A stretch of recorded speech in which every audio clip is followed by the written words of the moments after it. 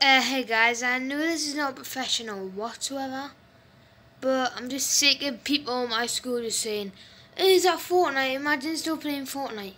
Just to say to people, if you play Fortnite or any other game, and people make fun of you, just ignore them, because what games you want to play doesn't matter to other people.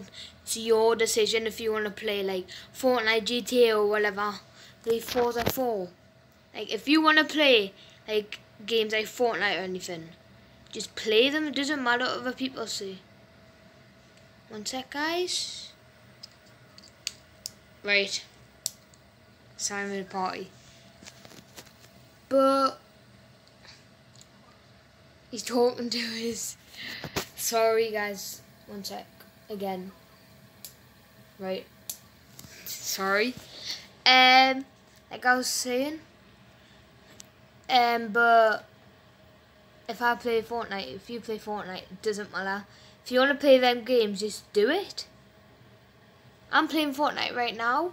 If I want to play Fortnite, I don't care what other people have been saying. I'm still playing Fortnite.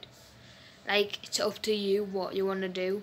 So just want to put that message out there. I know people make fun of me for this video, but I don't really care. See you. Have a good life. Bye.